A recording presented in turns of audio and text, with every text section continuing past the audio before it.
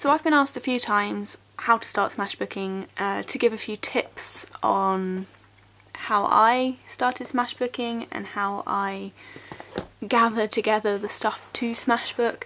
Um, so I thought I'd put together this video basically kind of going through where to buy them, how to collect the stuff, you know, start to finish on starting smashbooking. So first of all, where to buy them and which one to choose. Now, I have a few. My first smashbook, which was the orange binder, I got it from Amazon.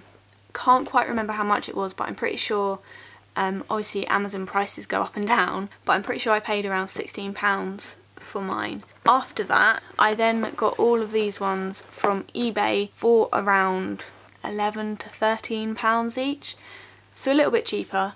Um, and those were from an auction on eBay. I do know that Hobbycraft and The Range sell them if you're in the UK.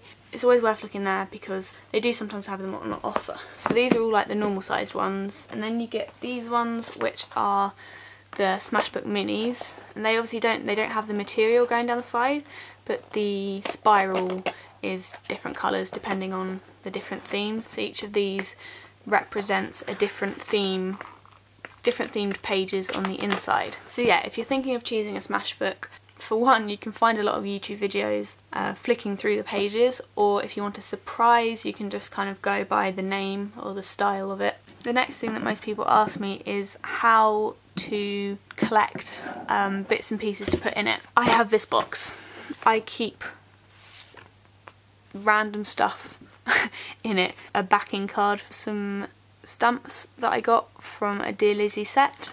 I then got these little things which came with um, some stamp stickers. There's a receipt from when I went to London and visited Harrods. Labels from shoes.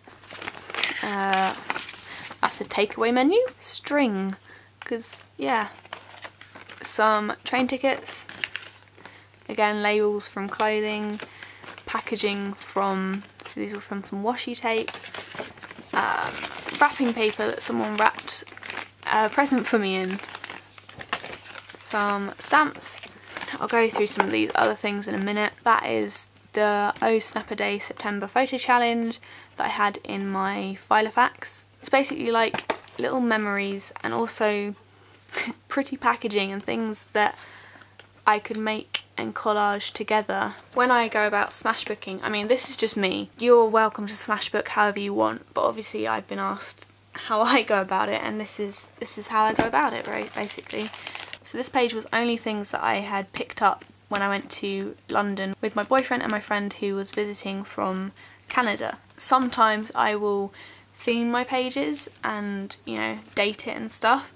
Um, whereas other times like this, all of these things don't necessarily mean anything to me um, but they just looked good together and they worked together on a page and that is what I went for.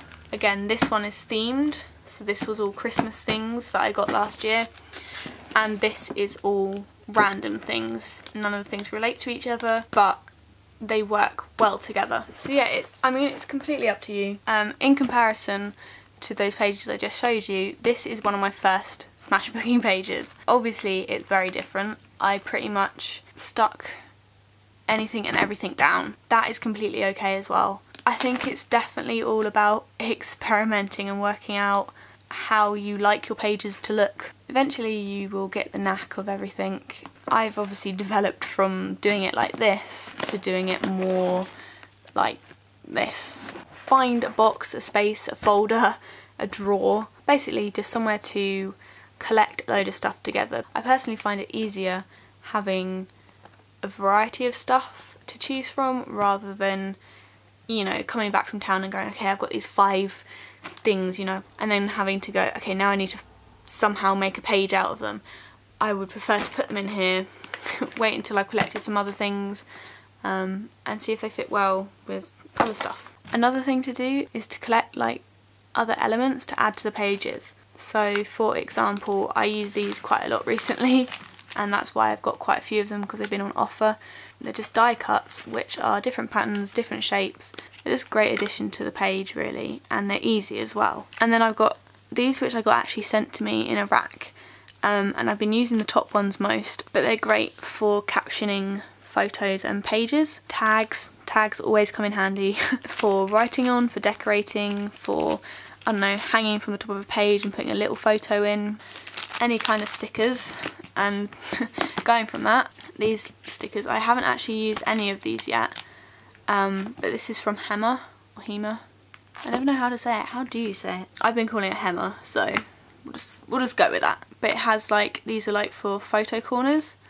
Um, and then it has little bunting, hearts, like speech bubbles and birds and stuff, stars, and tags. For Smashbooking this is a really good pack because it's kind of got the photo element the just general decorating and also like the captioning and stuff with the tags. When it comes to journaling in my Smashbook, because I'm not a like massive writer, like I would prefer to express myself through colours and shapes than I would through writing. Obviously that's just me, but I know a lot of people want to start smashbooking because they like the journaling side of it. For that, I would recommend things like this. For example, I've got this little this little caption here which was a sticker and that's probably as far as I go journaling wise in here which is basically just the date and a little brief of what that day was about. Um, but obviously if you want to write something a bit longer you can get these little things and stick them in. You can do things like this, how I've attached this postcard which is basically punch two holes and put a string through the two holes and then down the spiral and tied it. If you are one of those people who likes to just write straight on the page then by all means do that. But yeah, that's just personal preference for me. I prefer not writing in here. And lastly is washi tape. I'm pretty sure all of you by now know that I'm addicted to washi tape. It is my go-to for everything. I absolutely love it. It just joins pages up so well. The cheapest place I've found it is probably eBay. So yeah, I mean, I'm not saying you have to collect like a ton, but having a few in different colours will definitely help.